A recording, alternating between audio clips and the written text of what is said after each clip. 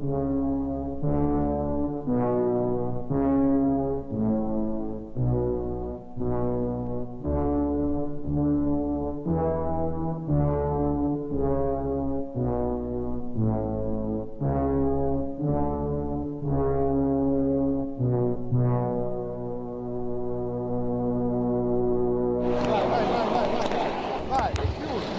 problema serio, noi che ci lavoriamo è abbastanza serio come problema. Magari dovevano pensarci un po' prima, dopo tutti i vari problemi che ci sono stati in giro, la paura fa 90. Per noi che veniamo fuori tutti i giorni da Genova vuol dire metterci 5 ore per andare e tornare dal lavoro, Dove prima ci si metteva? un'ora.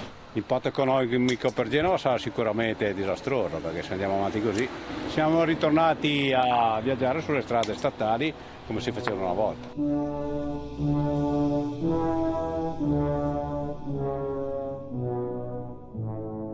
Quelle pile lì sono pericolose, faranno qualcosa perché non si può rischiare di fare de- delle vittime, fare dei disastri. Conviene sistemarli e poi dare il traffico. E cadono i pezzi e le pile non sono stabili. Una vergogna perché da dieci anni e anche più troviamo chilometri e chilometri di birilli senza nessuno che lavora, ce n'è uno o due. Poi quando succedono questi eventi mettono emergenza, bloccano di qua, bloccano di là per fare vedere che lavora. Ci saranno delle ripercussioni senz'altro maggiori e diciamo un pochino tutte, cioè si è trascurata completamente questa situazione. Quindi io penso che sia un pochino colpa di tutti. Lasciamo perdere che è meglio.